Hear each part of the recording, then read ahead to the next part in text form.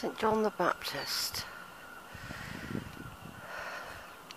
Managed to get in the back a minute ago. It's normally locked where the graves are. The graves at the back.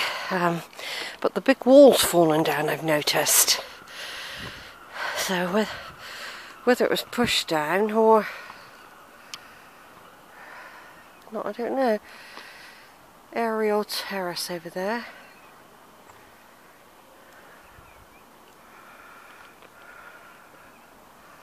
I have been in. I've got a video somewhere. This is where Brandy, Zara, Maggie, me often walked. One of our little walks would be just coming in here.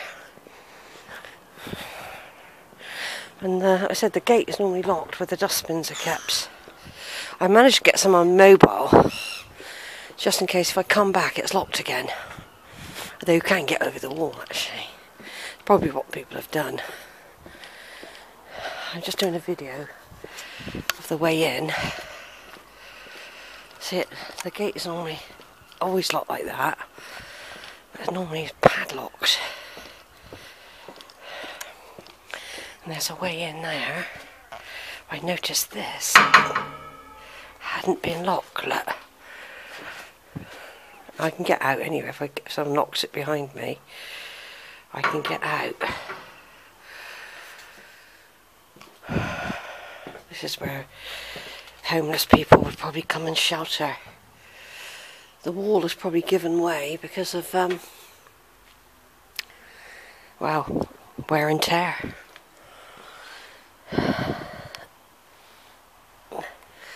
So, I have been in here a long time ago, but I didn't video as far as I know.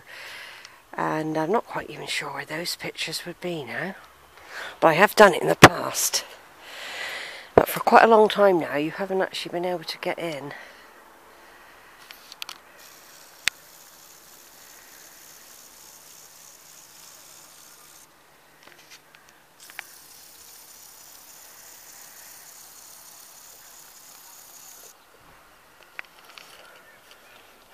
There's a few old graves in here though. When they did some extension work here, they had to, um, they, they found a, obviously dug up a load of buried people from a long time ago. I'm not quite sure what happened, as, whether they um, reinterred them somewhere else, I'm not sure. There's a gate into the um, Grove Park house there used for some time now. And then we've got in memory of Mary, widow of the late William Codley Esquire. She died on the something of July 1864 in her 86th year and Lieutenant Cur Colonel William Codley, son of the above, who departed this life August the 17th, 18 looks like 83, age 16, or 63, or 33. I'm not quite sure what that says. William Henry Codley, only son of Esquire Codley.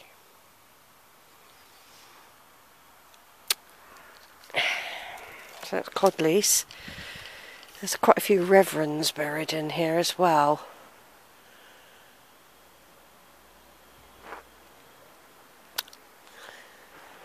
The Reverend James Pierce of Shallacombe in the county of something departed this life. Yeah, there's a lot of that all broken off now.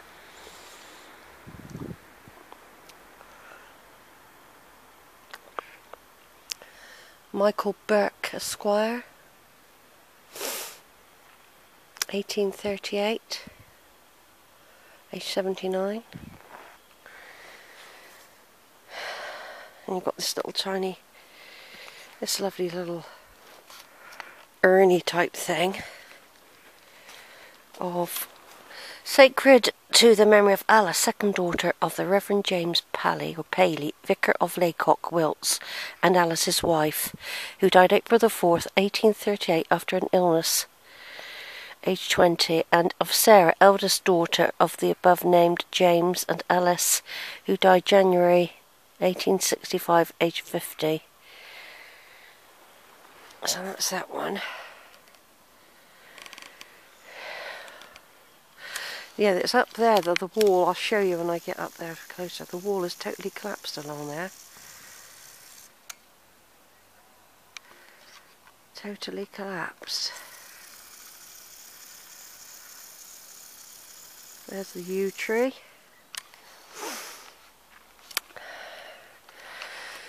And um, here we got in loving memory of Constantine Beeger Lacine of the late Constantine John and Augusta Lace, Lacin died October the 1st, 1884, interred in Kensal Green Cemetery, London. A lot of people had tombs up there and vaults. Quite a few of the Kennaways that belong to the family on um, my grandchildren, Jack and Lucy side, are buried in Kensal Green in their own tombs. And we've got this little one here behind these bars. Mary Edwards Savoury, eldest daughter of the late Andrew E. Butler, Esquire, of Caerleon, Monmouthshire, and wife of Charles Savoury, Esquire, King Square, Bristol. She died at Weston on the 10th of August, 1842, aged 47. Those only who have mourned the loss of the one so loved and valued can tell how dear to the survivors is the last resting place of something, I can't read that bit. It's quite a new church, this one, but it's on the site of an older place. Because the sea probably was lapping up here, you see. Um, it's on the site, there's an old cross out the front. So though this church itself is relatively new, like, you know, maybe a couple hundred years old, that's new, you see. Um, there would have been some sort of site here for a long time. There's the top of the Grove Park house. Grove Park's over there, where I walk every day. Zara and uh, Maggie have left now. They've moved away. So um, it's only me left in Weston. Apart from Jolene and Joe, I don't see.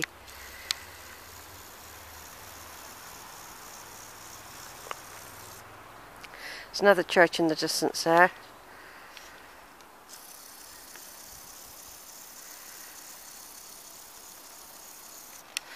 Yeah, I thought it was worthwhile coming in to do a video. I've taken a picture of this grave here of um, Thomas Carrington Scott Esquire of the ben Bengal Civil Service who died October the 4th, 1848, age 38. I mean, he could have been one of those in all that um, mutiny going on over there. And that round about that time, just before the mutiny, there was a lot going on over in India.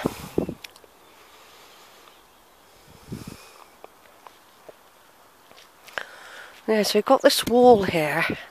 Then for some reason it collapses. Um, it looks like it's collapsed before in the past as well.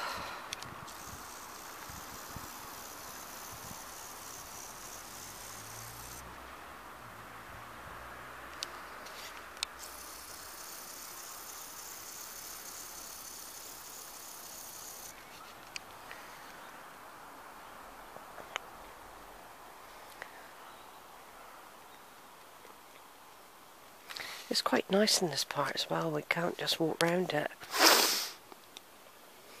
Henry Hopwood Billinge, son of the late Thomas Hicks Billinge, who died at Mobile, Alabama, October the 9th, 1858, He's 24. I mean, he might have been involved in um, the American Civil War. Or that might be too early. I think it was later, the Civil War. You see the wall here has collapsed. There's some graves here. It really has collapsed now, isn't it? Big time. It's almost as if um, a crane has come along and whacked it. There's quite a bit of force to knock that over.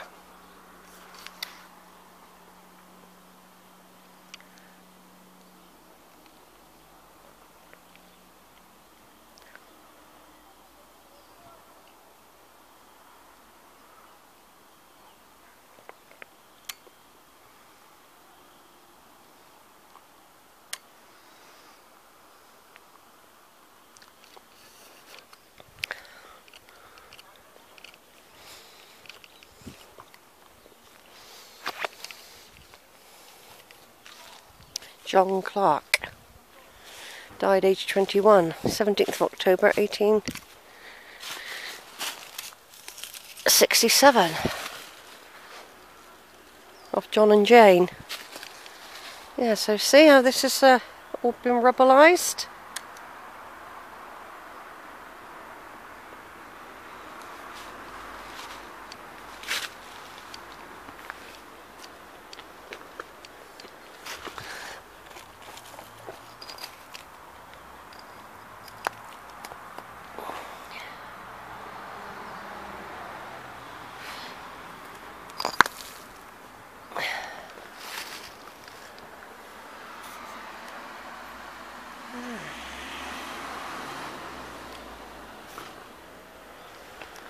Some force at that. I mean, it couldn't have been a vehicle because it's too high up. Weird that, isn't it? it? Must have been a fierce wind. A very fierce wind. Oh, look at that. That there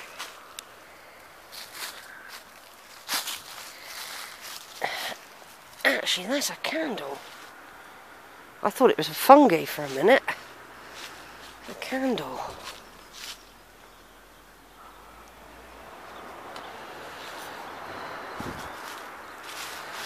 And there's graves going all the way down there as well.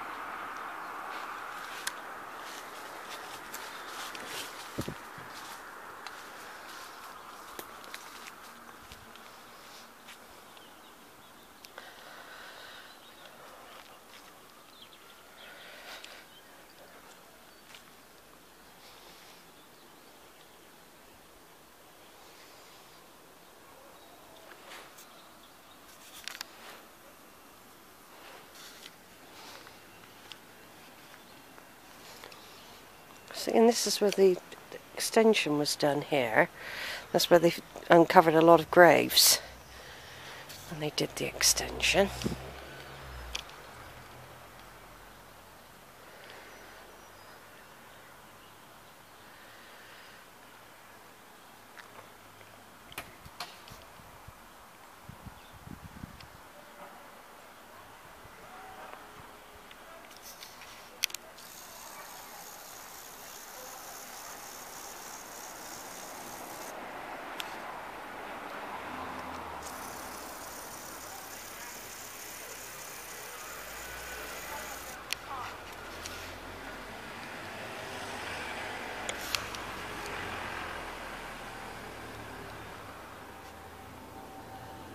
Right, over and out.